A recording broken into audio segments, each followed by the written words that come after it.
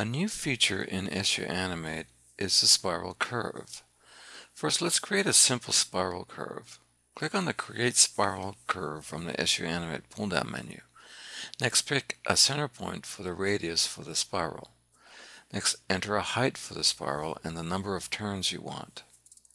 When you have finished, the Animation Path dialog box will be displayed.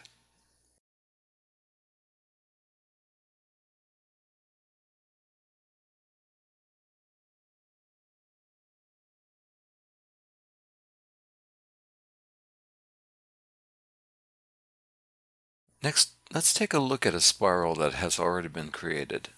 This spiral has one turn, it has 200 frames, and the camera is being animated. In the center of the model there is a group called Target. The camera target is that group. This will create an animation that will spiral up around the campus while the camera stays focused on the target group. Let's run the animation.